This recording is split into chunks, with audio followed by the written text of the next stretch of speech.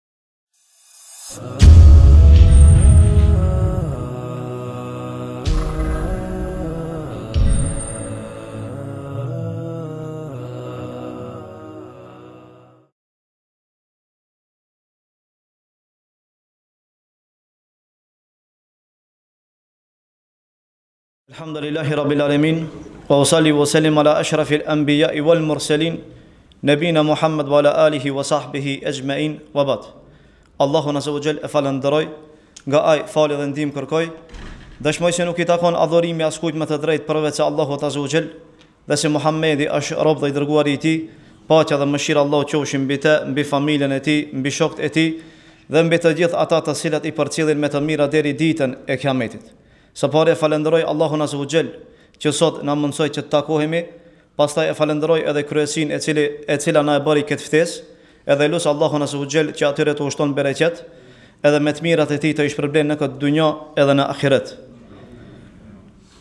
Pa dyshim se ne si besimtarë të cilët i besojmë Allahut Azze ve Xhel, edhe i besojmë asaj të cilës na e ka zbrit Allahu Azze ve Xhel, edhe na e ka lajmëruar pejgamberi sallallahu alejhi ve selem. Ne i besojmë se do të vijë një ditë ku Allahu Azza wa Jall do t'i bashkon të gjitha krijesat e Tij, prej te Ademi alejhi salatu vesselam e deri tek njeriu i fundit i cili do do të jetë para ditës së Kiametit. Allahu Azza wa Jall do t'i bashkon në një vend të parët edhe të fundit.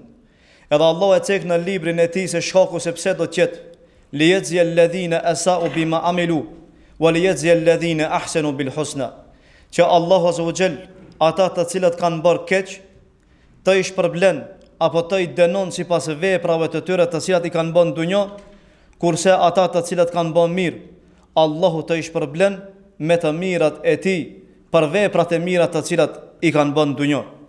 Ajo ditë Do të jetë shumë ditë e rëndë, ditë e vështirë, ku njerëzit të gjithë do të ringjallen këmbëzbathur, do të ringjallen të pabërë synet, do të ringjallen pa rrobe apo të zhveshur, edhe të gjithë do të presin pesëdhjetë mijë vite që të japin llogari para Allahut Azza wa Jall. Me të vërtetë, me të vërtetë ditë e rëndë. Për këtë arsye e cek Aisha radhiyallahu anha kur e pyeti pejgamberin sallallahu alaihi wasallam, i tha ja Rasulullah, tha do të dalim burra edhe gra lakuriq, tha a nuk është kjo e ndaluar haram? Pejgamberi sallallahu alaihi wasallam iu përgjigj se atë ditë nuk do t'i intereson askujt për askënd, po secili do të thotë nefsi, nefsi, vetja ime, edhe vetja ime. Fëmija do të ikë nga prindërit e vet, Prindërit do të ikin nga fëmijët e tyre, gruaja do të ikë nga burri i vet, edhe burri do të ikë nga gruaja e tij. Me të vërtetë një ditë të cilën Allahu Azza wa Jell e përshkruan në librin e Tij, edhe e cek se atë ditë fëmijës do t'i thinjën flokët, kurse gruaja e cila e ka fëmijën e vet në gji do ta harron edhe fëmijën e vet, kurse ajo e cila është shtatzënë do ta hedhë barrën e saj, Kurse njerëzit do të duken sikur se janë të dehur, ndonëse ata nuk janë të dehur, mirëpo dënimi i Allahut është shumë i randë, dënimi i Allahut do të jetë shumë i ashpër. Allahu Azza wa Jall na paralajmëron për këtë ditë, edhe na urdhëron që të përgatitemi për këtë ditë. Edhe thotë Allahu Azza wa Jall, "Ya ayyuhan nas, ittaqu rabbakum, inna zalzalata as-sa'ati shay'un 'azim." O ju njerëzi,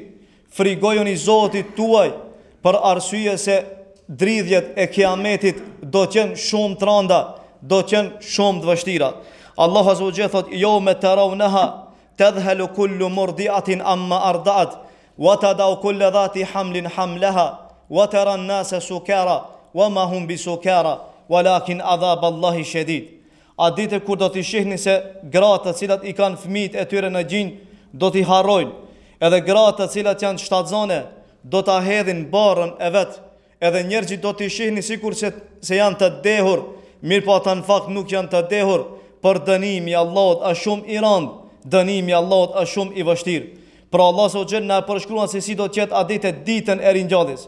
Kur të gjithë njerëzit do të ngriten para Allahut që të japin llogari, e pa dyshim se edhe ne me lejen e Allahut do t'jemi në me, do të jemi në mesin e atyre. Për këtë arsye ata të cilët kanë bo mirë, ata do shpresojnë se tek Allahu do të gjejnë lehtësime, kurse ata të cilët kanë bo keq, edhe kanë pas moralin e keq edhe të lig, ata do të frigohen se Allahu do t'i dënon atë ditë. Atë ditë dielli do të jetë mbi kokat e njerëzve, jo ma tepër se një milje apo jo pak ma tepër se një kilometër. Edhe do t'jetë mbi kokat e njerëzve edhe djersat e tyre do t'u pikojnë sipas veprave të cilat i kanë bë në dunjo. Disa djersat e tyre do t'i mbulojnë deri tek nyjet e këmbëve, e disa deri në gjunjë, e disa deri në bel, e disa deri në fyt, sipas veprave të cilat i kanë bë në dunjo.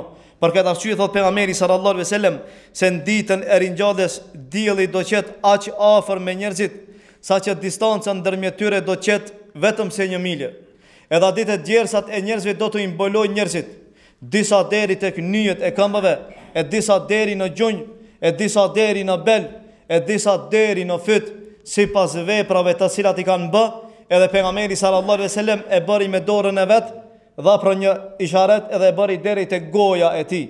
Pra a dite njerëzit do të mbulohen sipas gjynaheve apo veprave të cilat i kanë bë në dunjo. A dite pa dyshim se njerëzit kur do të qëndrojnë rreshtazi pesëdhjetë mijë vite në këmbë për të dhënë llogari para Allahut, do t'i shohmi se do të jenë disa njerëz, disa grupe, të cilat Allahu i ka marrë dhe i ka vendu në një hije, të cilën e ka bo të posaçme, e të cilën e ka bo të posaçme për të. Pra të gjithë njerëzit a dite do të kenë vështirësi, do të kenë vapë, do të kenë mundime, kurse asa, ata njerëzit do të jenë nën një hije, hije ku aty do të pushojnë, Do të pinë nga freskitë e Allahut azza wa xhel, nga begatitë e Allahut azza wa xhel.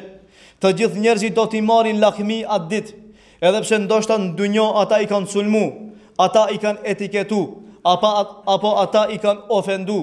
Mirëpo atë ditë ata do të begatohen me begatitë e Allahut nën hijen e Tij, në një hije të posaçme, kurse tjerët do të presin që t'japin llogari para Allahut azza wa xhel.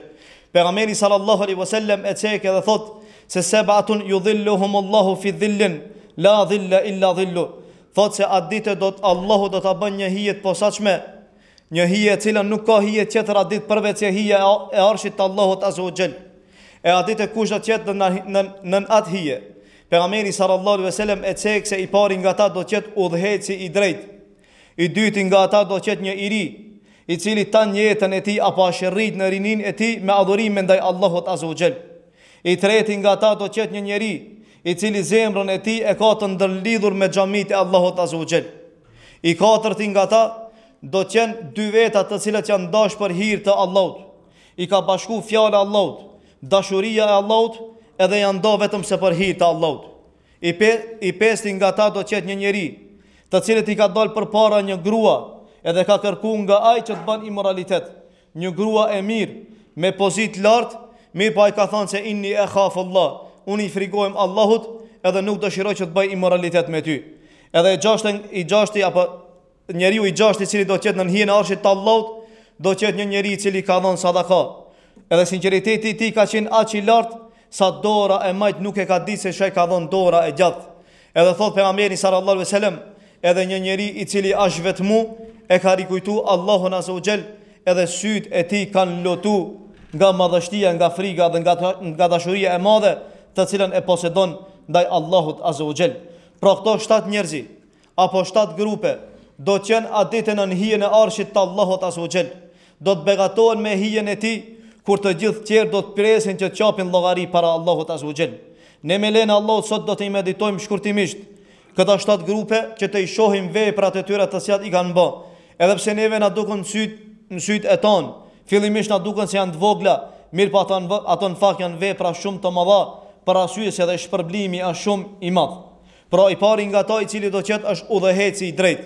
Udhëheqës i drejtë do të thotë ai njeri i cili gjykon mes njerëzve mes drejtësi, me drejtësi, edhe nuk e pason epshin e tij kur gjykon.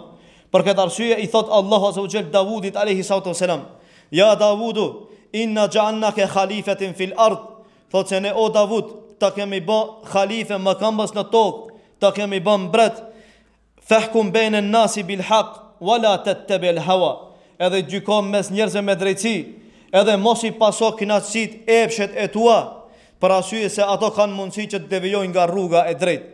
Pra Allah Azza wa Jall na bën me dije se gjykimi i drejtë Duhet që të jetë gjykim i cili është i kënaqur Allahu edhe pejgamberi i tij, e jo gjykim i cili është sipas epsheve edhe sipas pasioneve apo ëndjeve të njerëzve. Për këtë arsye këtu nuk bën pjesë vetëm si imami apo udhëheqësi i shtetit, po në këtë vend apo në këtë fjalë bën pjesë edhe ai njeri i cili i ka marrë amanet që të gjykon mes njerëzve, gjykatësi, apo ai i cili ka marrë edhe amanet që të merr ndonjë përgjegjësi Edhe përgjegjësinë ta çon në vend. Për këtë arsye marrja e përgjegjësive nuk është e lehtë. Marrja e përgjegjësive është e rëndë, edhe amaneti duhet që të përcillet në vend. Allahu azza wa jall thotë se inna Allah ya'murukum an tu'addu al-amanati ila ahliha. Thotë Allahu ju ka urdhëruar që t'i merrni edhe t'i dërgoni amanetet deri në vend. Edhe ju kur gjykoni mes njerëzve, të gjykoni drejt. Pra marrja e përgjegjësive nuk është e lehtë, marrja e përgjegjësive është shumë e rëndë, edhe duhet ta dinë se secili do të jep llogari për marrjen e përgjegjësisë të cilën e ka bë në këtë dunja, edhe shpërblimi do të jetë shumë i madh për atë njeri, mirëpo edhe dënimi do të jetë shumë i madh për ata të cilët i marrin përgjegjësitë edhe nuk gjykojnë me drejtësi. Për këtë arsye nëse ju i shihni udhëheqësat e shteteve, kryetarët e partive, apo të gjithë ata të cilët, kanë marrë përgjegjësi mbi supet e tyre edhe nuk ia japin hakun le ta dini se dënimi i Allahut do të vjen mos dyshoni në dënimin e Allahut Allahu azza wa xhel ka mundësi që ta vonon dënimin e tyre mirëpo dini se do të vije, vetëm edhe vetëm se Allahu e di urtësinë se pse Allahu ia vonon atyre për këtë arsye thotë Allahu azza wa xhel wala tahsabanna Allaha ghafilan amma amma ya'malu adh-dhalimun thotë mos mendoni se Allahu është neglizhent ndaj atyre të cilët bëjnë padrejtësi në këtë tokë Për arsye se thotë Allahu azza wa jall innama yu'akhiruhum li yawmin tashkhasu fihi al-absar. Allahu ata i vanon, ua vanon dënimin e tyre derisa atë dite kur do të vije edhe do t'u zgurdullohen sytë e tyre nga tmerret e asaj dite kur do t'i shohin. Pra mos mendo, ti kur e shef se një njeri, një tiran, një i padrejtë ban zullum, ban padrejtësi, e shef një udhëheqës shteti i cili Ban padrejtësi ndaj parisë së vet. E shef se një njeri i cili i ka marrë përgjegjësitë edhe e vanon, e vanon apo është i padrejtë në gjykim mes njerëzve. Edhe Allahu ja vanon dënimin atij. Mos mendo se Allahu e ka arru, e ka harru atë njeri, po dënimi i Allahut do të vijë padyshim, edhe pse nëse ai vanon, mirëpo urtësinë vetëm se e di Allahu azze u xhel. Pra udhëheqësi i drejtë, ai i cili gjykon mes njerëzve, do të jetë nën hijen e arshit të Allahut azze u xhel. Për arsye se është shumë rëndë që të gjykojsh me drejtësi, ngase ka mundësi që që të ndërhyjnë edhe epshi jot apo pasionet e tua, ëndjet e tua edhe me atë ta ndryshojsh drejtësinë edhe ta ndryshojsh ligjin e Allahut azza wa xhel. I dyti nga ata i cili do të jetë nën hijen e Arshit të Allahut azza wa xhel është një i ri, i cili është rritur në adhurime ndaj Allahut azza wa xhel. Një i ri i cili e don Allahun, e madhëron Allahun Azza wa Jall, e do rrugën e tij, thirr të mirë edhe ndalon nga e keqja. I ri, i cili i do xhamitë, i ri, i cili nuk shkon nëpër diskoteka, nëpër kafiça, i ri, i cili kur e shef një vajzë e ul kokën e tij, i ri, i cili kur shokët e vet shkojnë Pas dëfrimeve dhe pas lojrave, ai i ri nuk shkon pas tyre. I ri i cili ja ka dhonë besën Allahut azza wa xhel se do ta adhuron, edhe për këtë arsye, për arsye të luftës së madhe të cilën e ban me epshet e veta, ai djalosh do të futet nën hijen e Arshit të Allahut azza wa xhel. Nuk ashtë lehtë, kur shokët e tu shkojnë, pas, apo jepen pas dëfrimeve dhe pas harameve, Ti t'i largohesh atyre, kur tjerët tallen me ty edhe t'etiketojnë se ti je i prapambetur, edhe ti t'i largohesh atyre gjynaheve edhe të shkosh pas pasioneve tua, për këtë arsye do të jetë edhe shpërblimi i jot ditën e Kiametit i madh. Për këtë arsye, ata të cilët tallen me ata të rinj të cilët shkojnë nëpër xhami, Edhe tallen me ata të rinj të cilët nuk shkojnë pas femrave, edhe tallen me ata të rinj të cilët nuk shkojnë nëpër diskoteka apo nëpër kafiqe, le ta dinë se shpërblimi i tyre ditën e Kiametit do të jetë i do të jetë shumë i madh, kur atë ditë do të pje do të do të presin që të japin llogari para Allahut Azza wa Jell. Ky djalosh, ky i ri, ka ku të merr shembull. Shembull ma të mirë i ka ata djelmosha të cilat i cek Allahu azza wa xhel në librin e tij ku thotë se innehum fitjetun amenu bi rabbihim wa zidnahum huda. Thotë ata kanë qenë disa djelmosha të ri, të cilët për ta mbrojtur imanin e tyre, për ta mbrojtur fenë e tyre, ata janë largu edhe janë mbyllë në një shpellë me qëllim që kur të dalin para Allahut të dalin të pastër. Edhe këta djelmosha i marrin si shëmbëlltyrë vetëm se ata Edhe për këtë arsye ata nuk mërziten aspak, nëse i shajnë, nëse i ofendojnë, nëse i etiketojnë, edhe nëse folin fjalë të ndyta për ta, ata nuk mërziten për arsye se ata ja kanë dhënë besën Allahut, edhe ja kanë dhënë besën pejgamberit sallallahu alaihi wasallam. Ata nuk i harrojnë porositë e të dërguarit të Allahut azza wa xhel. Ku e cek pejgamberi sallallahu alaihi wasallam, ku thot igtenim khamsen qabla khamsin, thot shfrytzoni pesë gjëra para pesë gjërave. Shfrytzoni thot rininë, Para pleqërisë, shfrytëzoni shëndetin, para sëmundjes, shfrytëzoni pasurinë, para para varfërisë, shfrytëzoni kohën e lirë, para se ju apo para se të jesh i zënt, edhe shfrytëzoni jetën para vdekjes. Po ky i ri e di se do të japë llogari para Allahut për rininë ku e ka kalu.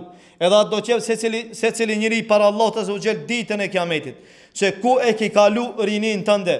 A ki kalu në adhurime, apo a ki kalu nëpër diskoteka e nëpër kafiqe, edhe për atë dije se padyshim se do të japish llogari para Allahut azze u xhel. E ky i ri do të jetë Ditën e Kiametit para Allahut azze u xhel, do të jetë nën hijen e Arshit, ku nuk ka hije tjetër përveçse hija e Arshit të Allahut azze u xhel. I treti nga ata i cili do të jetë nën hijen e Arshit të Allahut azze u xhel është një njeri i cili zemrën e tij e ka të lidhur me xhami. Njeri i cili kur del prej xhamisë, mezi pret që të kthehet prapë në xhami, zemra e tij nuk qetësohet ndonjë vend tjetër, po zemra e tij qetësohet vetëmse në xhami. Ky njeri i jep gjithmonë përparësi shpisë së Allahut para shpisë së tij. Për këtë arsye ka ardhur. Nxitje në sunetin e Pejgamberit të Allahut azza wa xhel për burrat që namazin e tyre ta falin me xhamat. Jo vetëm se ata do të jenë nën hijen e arshit të Allahut, po ata për secilin hap të cilin e bëjnë për në xhami, ata atyre çdo ditë apo çdo hap të cilin do ta bën për në xhami do t'i rritet një gradë edhe do t'i fshihet nga një gjynah.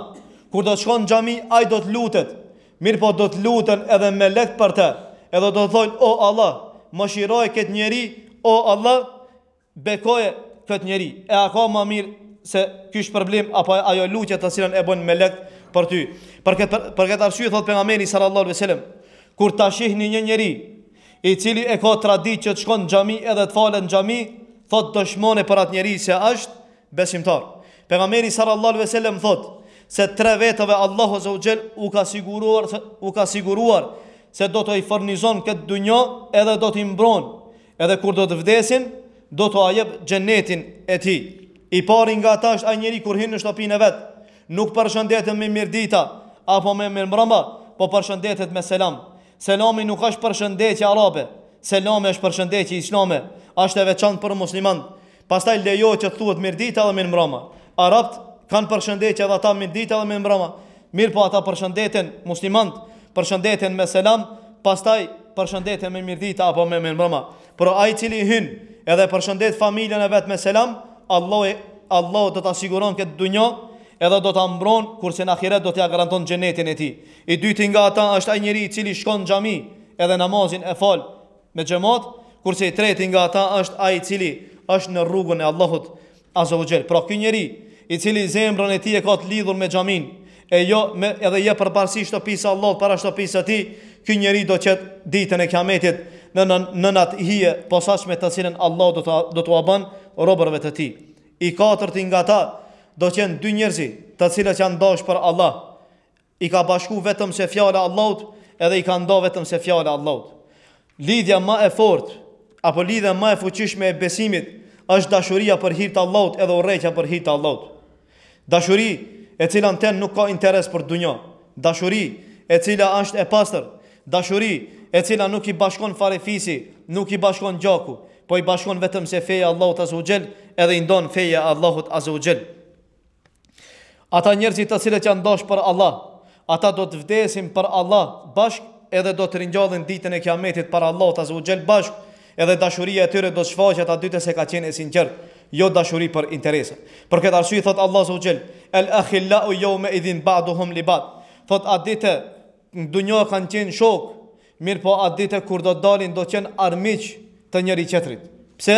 Për arsye se ata pse kanë pretendu se n'dunja janë shokë, për Allah, i ka thonë njëri tjetrit se unë ty du për Allah, mirëpo n'fakt nuk e ka pas dashurinë e tij për Allah. Dashuria e tij ka qenë vetëm se për dunja, për interes. Edhe kur asht largu ai interes nga ai, atëherë asht largu edhe dashuria mes tij, mirëpo atë ditë kur do dalin para Allahut do të dëshmojnë zemrat e tona, do të shihet se ti a e ki dashtë filanin me të vërtetë për Allah apo vetëm se e ki dashtë për interesat e dunjas, edhe atë ditë thotë Allahu azza wa xhel ata do të jenë armiq të njëri tjetrit, përveçse të devotshmëve, të cilat kanë qenë sinqertë në dashurinë e tyre, edhe ata do të duhen atë ditë edhe do të ulet njëri me tjetrin përballë, Edhe do, do t'i rikujtojnë çastet në dynjo, kur janë dashtë për hir të Allahut, edhe kanë ndejtë me një vend për hir të Allahut Azza wa Jall. Për këtë arsye, thotë Pejgamberi sallallahu alai sallam, se ai i cili don për Allah, ai i cili urren për Allah, ai i cili jep për Allah, edhe ai i cili nuk jep në harame për Allah, vetëm se e ka plotsu imanin e tij. E përcjell Ebu Malik el Eshari, thotë se Pejgamberi sallallahu alai sallam një ditë prej ditëve tha, o ju njerëz, Dëgjoni, mendoni edhe dijeni se ka njerëz ditën e Kiametit, të cilët nuk janë pejgamber, nuk janë shehida. Mirpo do t'u kanë lakmi pejgamberët, do t'u kenë lakmi shehida. Atëherë çuditen sahabët. I thonë ja Rasulullah, a do të ketë edhe asisoj njerëzish? Atëherë ngritet një beduin Edhe si ka qenë ulur n'mesin e shokëve të tij, edhe i, ka, i tejkalon të gjithë edhe del para pejgamberit Allahu azza wa xhel. I thot ja Rasulullah, a do të ketë njerëzit të cilët pejgamberët do t'u marrin lakmi, edhe do t'u marrin shehidat, kurse shpërblimi i tyre dhe gradat e tyre në xhenet janë shumë të larta. Pejgamberi Allahut azza wa xhel buzqeshet Edhe i thotë po, se do të ketë atë dite disa njerëzi, të cilët do t'u marrin lakmi pejgamberët dhe do t'u marrin lakmi shehidët. Pejgamberi sallallahu alejhi we selem thotë, ata janë njerëz sikur sikurse ne, nuk dallohen prej tjerëve. Mirëpo ata nuk i ka bashku farefisnia. Ata i ka bashku feja e Allahut azza wa xhel. i ka bashku dashuria për hir të Allahut azza wa xhel. Nëse ata kanë qenë të sinqertë për Allah, ata do t'i marrin shpërblimet ditën e Kiametit. Pejgamberi sallallahu alejhi wasallam thotë se atyre Allahu do t'u jep mimbera nga drita, edhe do t'i ulë n'ato mimbera. Do t'i afron shumë afër afër Allahut azze wa xhel. Për këtë arsye do t'u marrin lakmi pejgamberët dhe shehidët. Thotë rrobat e tyre do të jenë nga drita, fytyrat e tyre do të ndriçojnë. Atë ditë, kur është tmerr i madh, të gjithë njerëzit do të tmerrohen, kurse ata jo. Për arsye se ata janë evlijat e Allahut. Kurse evlijat e Allahut nuk kanë as frikë, edhe ata do të jenë të siguruar nga Allahu azze wa xhel. Për t'u bërë evlija nuk ka kushte shumë, janë vetëm se dy kushte, të cilat i cek Allahu azza wa jall. I pari nga ata është që ti t'i besojsh Allahut edhe të jesh i devotshëm sipas parimeve të cilat i cek Allahu azza wa jall. Me këtë ti bëhesh evlija i Allahut, kurse Allahu i don evlijat e vet edhe i mbron në këtë dynjë edhe në ahiret.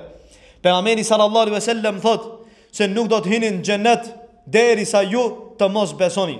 Pra pa besim nuk ka Xhenet. Edhe thot pejgamberi sallallahu alejhi ve sellem, dhe ju nuk keni besuar derisa ta doni ju njëri tjetrin. Thot a dëshironi që t'ju tregoj një vepër me të cilën juve do t'ua shton dashurinë mes jush? I thonë po ja Rasulullah. Thot tregona. Thot pejgamberi sallallahu alejhi ve sellem, thot efshu thot selam bejnekum. Thot përhapne thot selamin mes jush. Pra përhapja e selamit është shkak që dy zemra të afrohen edhe dy zemra të duhen. Kjo është e veçantë vetëm se për ata kur jepet selami. Kurse përshëndetja me mirëditë dhe mirëmbrëma, as nuk ta afron zemrën, edhe as nuk të lëshon rahmet mbi atë përshëndetje. Për këtë arsye ti kur i jep vllait tënd selam, dije se ti me atë vetëm se e shton dashurinë ndaj tij, Edhe afroheni njëri tjetrit, edhe e doni njëri tjetrin, edhe pa dyshim se me atë do ta fitoni shpërblimin e Allahut në këtë dunjë edhe në edhe në ahiret. Pra i katërti nga ata të cilët do të jenë në hijen e arshit të Allahut, është dy veta të cilët e kanë dashur njëri tjetrin për hir të Allahut, edhe e kanë urrejt njëri tjetrin për hir të Allahut. I pesti nga ata i cili do të jetë në hijen e arshit të Allahut azza wa jall, ku atë ditë të gjithë do t'i marrin lakmi, është ai burrë i cili përpara i ka dalë një grua e bukur edhe me pozitë, Edhe i ka thonë eja edhe bën imoralitet me mu, mirëpo ky i ka thonë inni ekhafullah, unë i frigohem Allahut edhe nuk t'u afrohem ty. Pra, kjo grua nuk është sikurse gratë e tjera. Kjo grua është e bukur, edhe ka pozitë, edhe çdo burrë e dëshiron, edhe është shumë rand që t'i largohet propozimit të saj. Propozimit të saj i largohet vetëm se ai njeri, i cili ka besim të thellë, edhe është largpamës. Për këtë arsye, Jusufi alejhi salatu selam do të jetë imami i tyre ditën e Kiametit. Për arsye se siç e dini, atë apo Jusufin alayhi salatu wasalam e thirri gruaja e ministrit që të bën imoralitet. Jusufi alayhi salatu wasalam refuzoi. Edhe pse i kishte të gjitha kushtet që të bën imoralitet me të. E kishte një grua përpara shumë të bukur, të cilën nuk kishte mundësi që t'i largohej. Ishte i vetëm pa familje. Ishte në pallat vetëm se ai edhe ajo. Mirëpo çka i thotë Jusufi alayhi salatu selam. I thotë inni ekhafullah, unë i frigohem Allahut, edhe nuk dëshiroj që të tradhtoj unë Zotin tem. Pra Jusufi alayhi salatu selam do të jetë imami i tyre ditën e Kiametit. Allahu azza wa jall për ata që i frigohen Allahut, edhe i largohen të ligës e të shëmtuarës thotë Se wa wa amma man khafa maqama rabbihi wa naha an-nafsa 'anil hawa fa innal jannata hiya al-ma'wa.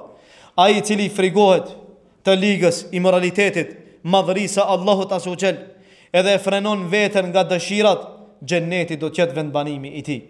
Qadi Iyad thotë se ajo grua dallohet prej grave të tjera. Ajo grua thotë është e veçantë, grua të cilën e don Çdo burrë, e shpreson çdo burrë, edhe që të arrihet deri tek ajo asht shumë rëndë. Për këtë arsye ajo kur i del një burrit përpara, me atë bukuri, edhe me atë pozitë, shumë është rëndë që t'i largohesh propozimit të saj. Për këtë arsye nëse ti i largohesh propozimit të saj, është një adhurim shumë i madh, edhe një ibadet shumë i madh para Allahut Azza wa Jell. Pejgamberi sallallahu alejhi ve sellem e rrëfen një rast Për tre veta, ku sinqeriteti i tyre ndikon që Allahu azza wa xhel t'ua lehtëson atyre problemin të, me të cilin do të ballafaqohen rrugës. Pejgamberi i Allahut azza wa xhel e cekë dhe thotë se kanë qenë tre veta, të cilët kanë jetuar më herët se ju në kohën e bijve të Israilit. Edhe thotë se dalin rrugës, mirëpo rrugës sot i zen shiu edhe futen në një shpellë. Pastaj bie një shkëmb edhe ua zen shpellën edhe nuk kanë mundësi që të dalin. Edhe njëri nga ta thotë, Për Allah, thotë t'i lutemi Allahut me veprat e tona të cilat ne i kemi bo, edhe t'i lutemi me atë sinqeritet të cilin ne e kemi pas në atë vepër. Edhe secili fillon që t'i lutet Allahut sipas asaj vepre të cilën e ka bo, edhe në atë vepër ka pas sinqeritet vetëm se për Allah. Pra lejohet që ti t'i lutesh Allahut, nëse e ki bo një vepër të mirë, edhe e din se e ki pas sinqeritet, vetëm se për Allah. T'i lutesh Allahut Azza wa xhel, Allahu do ta lehtëson gjendjen apo vështirësinë në të cilën gjendesh. Edhe njëri nga ata i cili lutet, i thot o Zot. Thot unë thot e kam dash një vajzë. E kam dash shumë tepër. Thot gjithmonë kam kërku nga ajo që të më afrohet, që të bëj imoralitet me të. Mirëpo thot o Zot, ajo se s'e len thot më refuzoi. Derisa një ditë kur ajo, ajo ishte n'zor, edhe n'zor t'madh, kishte nevojë për 100 dinar. Atëherë thot unë i tubova ato 100 dinar. Edhe shkova ia dhash mirëpo e kushtëzova. I thash nëse ban imoralitet me mu, unë do t'i jap ato njëqind dinarë. O zot tha prej zorit të madh ku gjendesh, në të cilën ishte, tha pranoi. Tha kur shkova tha edhe iu afrova, edhe hyra mes dy kamve të saj. Atëherë më tha, O filan, ti e ke haram që ta hapish unazën time, përveçse në atë të cilën e ka leju Allahu, pra sipas kurorës. Atëherë, o, o Allah, unë tha u vetëdijsova edhe e pashë se e kam gabim, edhe u largova nga ajo edhe ia lashë ato njëqind dinarë të cilat ia dhashë më herët edhe e kushtëzova që të ban imoralitet. Thotë, O Zot, nëse unë e kam bo këtë vepër për hir Tëndin, Edhe jam largu nga imoraliteti për hir tëndin, o Zot, largoje shkombin nga ne. Edhe Allahu Azza wa xhel me të vërtetë ia pranon duan edhe e largon një pjesë të shkombit, pastaj luten edhe ata dy, edhe Allahu Azza wa xhel ia largon shkombin nga shpella edhe dalin edhe shpëtojnë. Pra sinqeriteti në veprën e tij ka qenë shkak që atij njeriut Allahu t'ia pranon veprën. Për këtë arsye ti nëse e ki bo një vepër për Allah, edhe gjendesh në ndonjë vështirësi, lute Zotin tënd. Thuj o Zot, Thuj largoma këtë problem, këtë vështirësi për hir të asoj vepre të cilën unë e kam bo, edhe shpresoj se në atë vepër e kam bo vetëm se për ty, o Zoti im. I gjashti nga ata i cili do të gjendet në nën hijen e Arshit të Allahut Azza wa xhel është ai person i cili jep sadaka. Mirëpo si dallohet prej tjerve? Për arsye se krejt njerëzit japin sadaka. Edhe krejt njerëzit pretendojnë se kanë sinqeritet. Ky njeri dallohet se Në sadakën e tij është i sinqertë dhe sinqeriteti është aq i madh saqë dora e majtë e tij nuk e din se çka jep dora e djathtë e tij. Dora e majtë e tij jep nuk e din se çka jep dora e djathtë e tij. Për këtë arsye, ti nëse e di se Allahu azza wa xhel këtë vepër e pranon, mos tento që sadakat e tua të i përmendësh. Për arsye se plot prej njerëzve të cilat i përmendin sadakat, ata njerëz vetëm se i humbin shpërblimet e tyre. Ne kemi raste edhe për xhamitë, ku njerëzit tentojnë që të ndërtojnë xhamia, edhe pastaj t'i emërtojnë me emrat e tyre. Me këtë, vetëm se e humb ti sinqeritetin tënd. Për arsye se ti ndoshta nuk e ke pas nijetin për Allah. Edhe ata njerëzit të cilët japin për xhami, edhe pastaj pretendojnë se me ato të holla të cilat i kanë dhënë, të vijnë edhe sundojnë nëpër xhamia, le ta dinë se e kanë gabim. Për arsye se kjo është shtëpi e Allahut azza wa xhel. Ti sundon në shtëpinë tënde. Ke drejta që të sundosh atë egon, atë problemin tënd të cilën ti e ke dhe nuk ke mundësi që të sundosh në shtëpi. Familja nuk të respekton, fëmijët nuk të respektojnë. Pastaj vjen edhe në xhami, edhe i jep të holla, edhe pastaj thua se unë dëshiroj që të bëjmë kështu, edhe unë të flas kështu, edhe fjalët e mia të merren, të merren në xhami.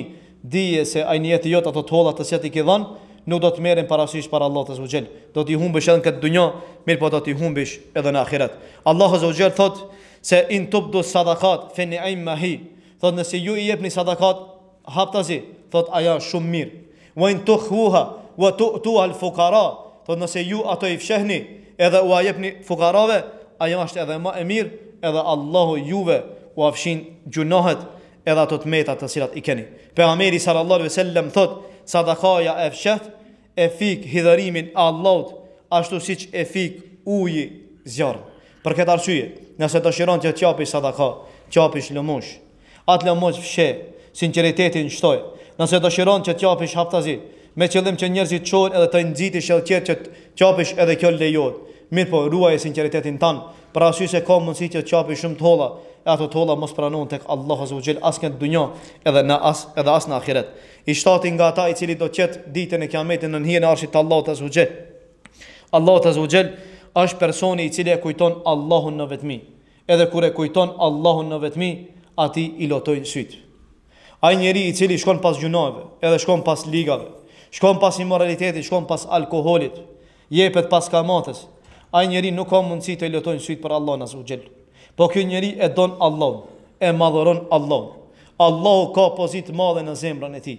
Për këtë arsye kur i kujton begatitë e Allahut azza wa xhel, i rikujton gjithë ato të mira të cilat ia ka dhënë, atij njeriut i lotojnë sy, sytë nga frika e Allahut azza wa xhel. Për këtë arsye Allahu kur i përshkruan ata të cilët i, i frikohen Allahut azza wa xhel. Allahu thotë se innamal mu'minun alladhina idha dhukira Allahu wajilat qulubuhum wa idha tuliyat alehim ayatu zadathum imana wa ala rabbihim yatawakkalun. Thotë se besimtarë janë ata të cilët kur u përmendet emri Allahut Atyre u rrënqethen zemrat. Edhe kur u lexohen atyre ajetet, shpalljet e tyre, shpalljet e Allahut, atyre u shtohet imani. Pra ti kur e përmend Allahun, edhe të preket zemra jote. Edhe ti kur e shoh se i lexon ajetet, edhe të shtohet imani, atëherë dije se zemra jote është e gjallë. Mirëpo kur të lexohen ajetet, edhe ti kur përmendet Allahu, nuk preket zemra e jote, Dije se zemra jote ka problem, zemra jote është e ngurtë edhe ka nevojë ajo zemër që zbutet. Nuk ka mundësi që muzika, nuk ka mundësi që haramet ta zbusin zemrën tënde. Allahu Azza wa Jell lumturinë nuk e ka lënë në haram, ata harrojnë. Allahu Azza wa Jell lumturinë e ka lënë vetëm se në hallall. Nuk ka mundësi që njeriu ta fiton lumturinë e dunjos edhe lumturinë e ahiretit përveç se në hallall edhe në parimet të cilat i ka cek Allahu azze wa xhel. Mirëpo ti nëse shkon pas harameve, mos mendo se ato ty do të japin kënaqësi edhe do të japin lumturi në këtë dunja edhe do të japin lumturi në ahiret. Për këtë arsye thotë pejgamberi sallallahu alejhi wasallam se dy sy nuk i prek zjarmi i xhehenemit. Syri i cili qan për Allah edhe syri i cili mbetet zgjuar duke ruajtur në rrugën e Allahut azze wa xhel. Ato zemra, të cilat janë të forta, le ta dinë se Allahu azza wa xhel i kërcënohet rreptë atyre.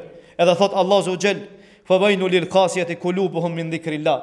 Thotë mjerë për ata që zemrat e tyre janë të pandjeshme kur përmendet Allahu, ata nuk atyre nuk u shtohet imani edhe nuk u preken zemrat, ata me të vërtetë janë në një humbje shumë të madhe. Pejgamberi sallallahu alaihi wasallam siç e dini, qante shumë, sahabët qanin shumë, pastaj pasuesit e tyre qanin shumë nga friga e madhe e Allahut azza wa jall. Sot ti kur e shef një njeri se qan për Allah, disa qeshin apo disa tallen. Kur i shohin disa hoxhallar duke fol apo duke lexuar Kur'an, u preken zemrat edhe qajnë, ka edhe nga hoxhallar të cilët tallen me ta. Ata njerëz kanë harru se çka do të thotë që të frigohesh ndaj Allahut edhe çka do të thotë që ti të loton syri jot për për hir të frigës së Allahut azza wa xhel. Pra ky njeri i cili frigohet Allahut qan për Allah edhe ditën e Kiametit do ta ketë shpërblimin e madh, do të jetë në një hije të cilën Allahu do ta bën posaçme për të. E lus Allahun azza wa xhel që të na bën edhe ne